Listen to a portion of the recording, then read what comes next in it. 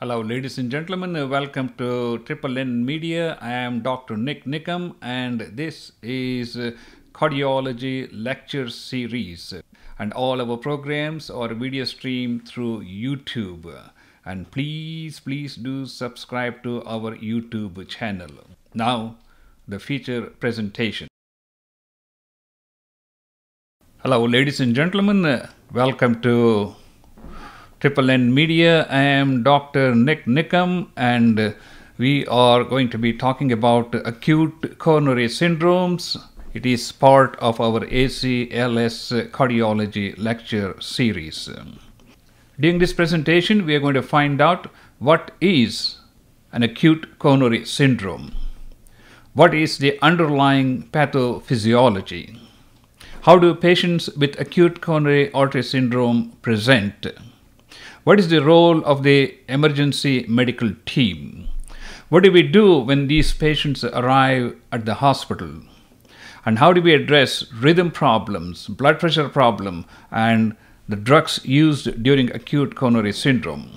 Then we're going to look at three distinct forms of acute coronary syndrome, namely STEMI or ST segment elevation myocardial infarction, non-STEMI or non-ST segment elevation myocardial infarction, and low risk acute coronary syndromes. So let us begin. Let us look at uh, the pathophysiology that leads to acute coronary syndrome where there is an actual cardiovascular event. As you know, the heart is supplied by the left, the left coronary artery and the right coronary artery, and these arteries supply the oxygen to the heart muscle. Over a course of uh, 20 to 30 years, uh, plaques build up inside the coronary arteries, uh, which leads to this uh, mounting effect encroaching onto the lumen. When there is uh, a thin cap, it can sometimes rupture and cause a blood clot. Generally, 90 to 95% of the blockage is caused by a hard plaque, and the last 5 to 10% of the blockage is caused by a blood clot. And hence, these two mechanisms help us to get a better understanding of what happens during an acute coronary syndrome. When there is total occlusion of a coronary artery, there is total reduction in the blood supply to an area of a heart muscle which dies, and that is known in the medical term as uh, acute myocardial infarction.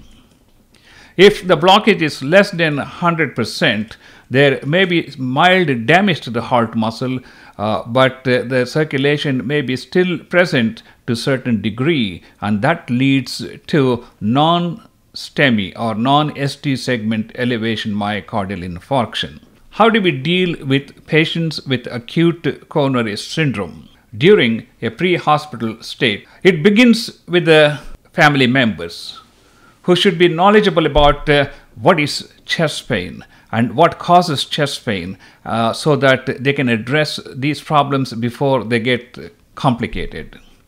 The best thing to do would be to be aware of the fact that 50% of the people who have heart attack don't make it to the hospital because of severe damage to the heart muscle or due to irregular heart rhythms. It is essential to call for help and attend to the patient immediately. When the emergency medical team arrives at the hospital, uh, they are supposed to take an accurate history of uh, symptoms like chest pain, shortness of breath, heaviness, indigestion, dizziness, syncope, or palpitations.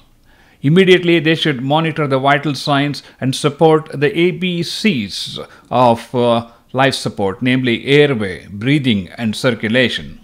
Once they establish the vital signs and put the patient on a monitor, they should be prepared to do any type of cardiopulmonary resuscitation that may be necessary. And they should also be able to use a defibrillator if they recognize uh, serious ventricular arrhythmias such as ventricular tachycardia or fibrillation. Routinely they should use a pulse oximeter to measure the oxygen saturation uh, in the fingertips. If it is less than 90%, then the patient should be administered oxygen through the nasal cannula. But if it's more than 94%, the patient does not need supplemental oxygen. If the ambulance is equipped with an electrocardiogram machine, they should immediately get an electrocardiogram and transmit that electrocardiogram to the receiving hospital. The emergency medical team should be able to recognize uh, the obvious signs of an acute uh, STEMI or ST segment elevation myocardial infarction.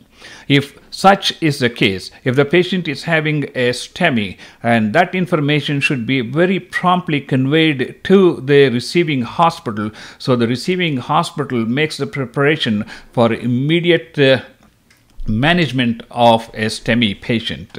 While on the road, the EMT should also go through a fibrinolytic checklist, that is, a, a checklist that helps us to determine if the patient is a candidate for administration of blood thinners or fibrinolytic drugs as we call them. They also should prepare for management of a STEMI with a good intravenous line, IV fluids if necessary. And here is a checklist uh, which the emergency team should complete so that it will give us a signal as to whether we can use a fibrinolytic therapy or not. You can look through them and we're going to go to the next slide here. The patient has arrived at the emergency room. What do we do during the first 10 minutes of a patient's arrival in the emergency room? Again, the nurses, the technicians, the respiratory therapists, and the doctors will all be surrounding this patient.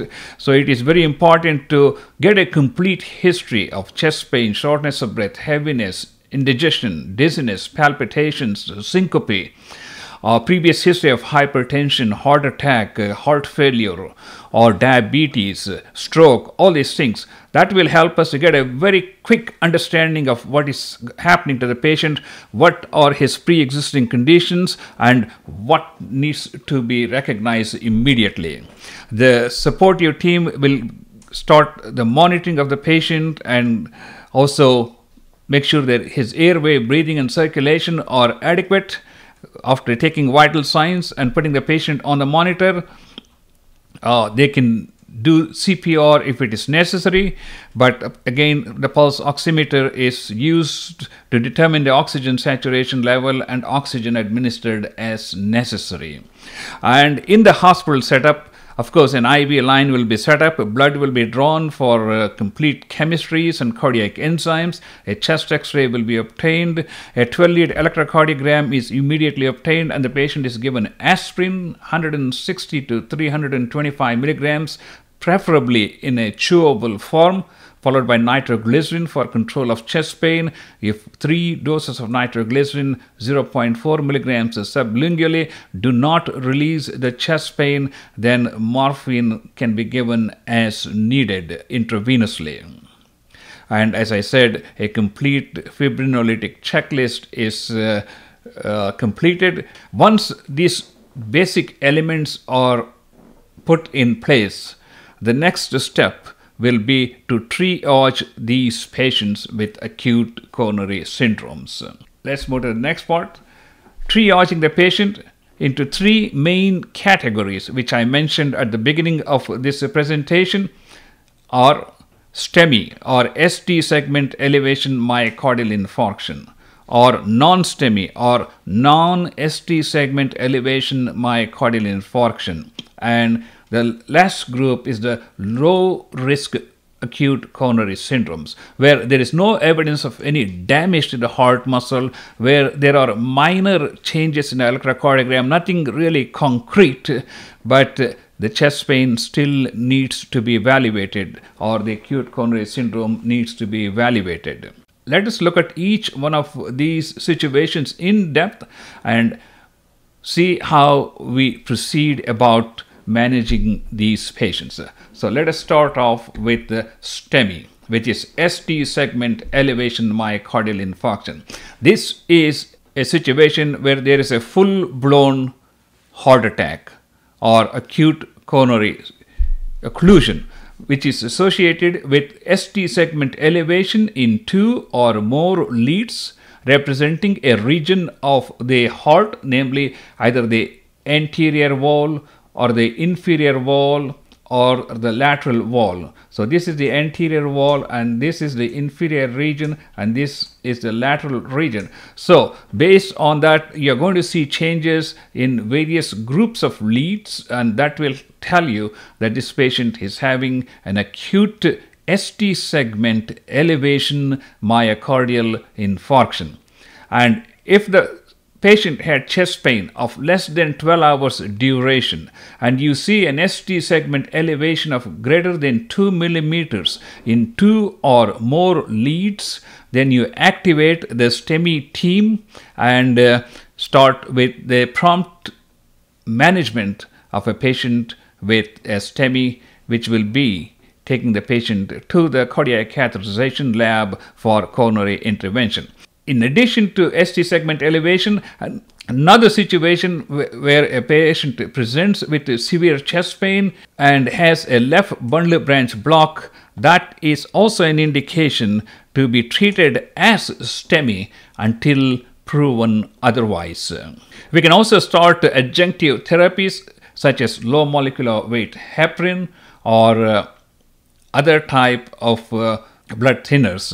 The main aim here is to stabilize the patient, control the pain, maintain adequate circulation and oxygenation, and transport the patient to the cardiac catheterization lab for coronary intervention. The goal here is to re-establish the coronary circulation by introducing a wire over which a balloon with a stent is passed and the plaque is compressed leaving the stent in place plastered to the wall thus re-establishing the circulation to the heart muscle which was uh, devoid of circulation just before he or she arrived in the emergency room. By doing this, we will minimize the damage to the heart muscle and re-establish the circulation. The goal is to accomplish coronary reperfusion in less than 90 minutes from the onset of uh, the chest pain. If the patient is being transported to a hospital where there is no coronary intervention facility available, then we should consider using fibrinolytic therapy to break down this clot so at least we re-establish the circulation and also attempt to minimize the myocardial damage. In that situation, the fibrinolytic therapy must be administered within 30 minutes from the time the patient arrives at the emergency room. In addition to that, the patient will undergo a complete risk factors evaluation and management, which would also include Plavix, statins, blood pressure control, beta blockers, and physical rehabilitation as needed. So, this is in a nutshell about uh, STEMI or ST segment elevation myocardial infarction, which is the most serious form of acute coronary syndrome. Now let's look at the second form of acute coronary syndrome, namely non-ST segment uh, elevation myocardial infarction. This is usually characterized by ST segment depression in more than two or three leads representing a particular region of the myocardium. In this case, this is the inferior wall subendocardial ischemia or infarction associated with elevated cardiac enzymes or markers, suggesting there is damage to the heart muscle. These patients are a little bit less severe than patients with the ST segment elevation, but nonetheless, the underlying pathology is very similar, and in many cases, the, the underlying plaque may be as severe as it is in a patient with a STEMI. So these patients need meticulous workup just like those who present with the STEMI, but we have little time to evaluate these patients.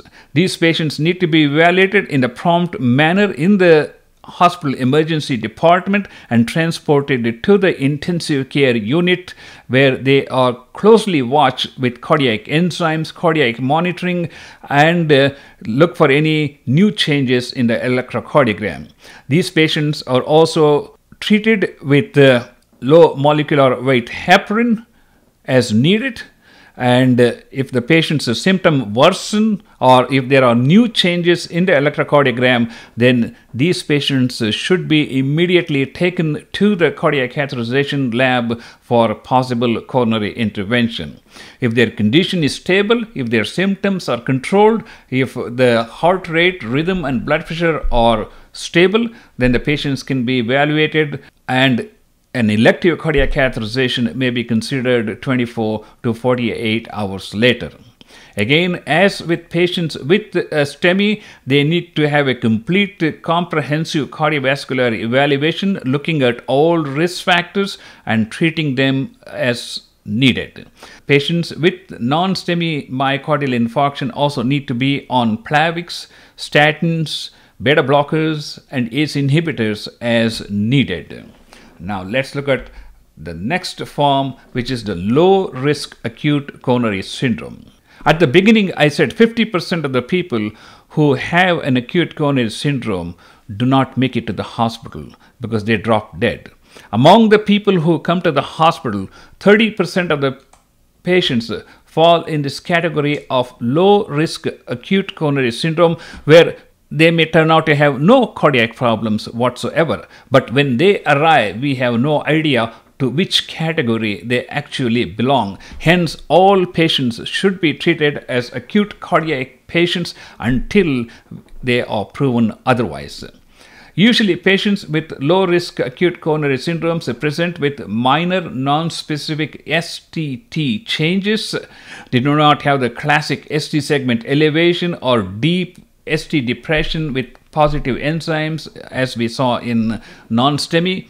They usually have non specific STT changes. The symptoms are usually lasting for less than 20 minutes or so. Nonetheless, they should be treated with uh, adjunctive treatments such as low molecular weight heparin along with oxygen, aspirin, morphine as needed. And if the cardiac enzymes and the other blood markers are negative for evidence of myocardial damage, these uh, patients may be, be washed and may undergo a nuclear stress test to see if we can provoke myocardial ischemia.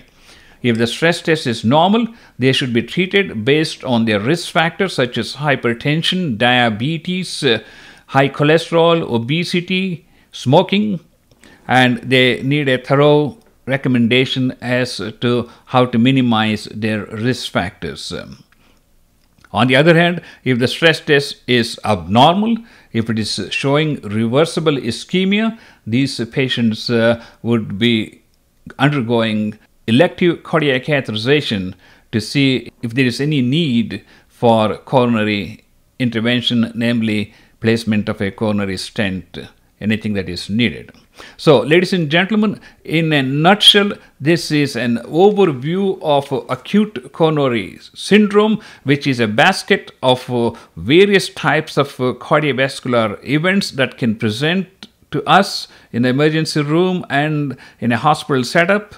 And we have talked about all the things that we need to do to first stabilize the patient, second, diagnose the underlying problem and three, treat them appropriately. That concludes the presentation on acute coronary syndromes. I am Dr. Nik Nikam and thank you so much for watching this presentation. We'll see you next time. Thank you so much for watching our program and please do subscribe to our YouTube channel. If you would like to support this program, you can look for the dollar sign on the right hand side of your browser and support in any way you possibly can. Again, thank you so much for watching this presentation and until next time, I am Dr. Nik Nikam.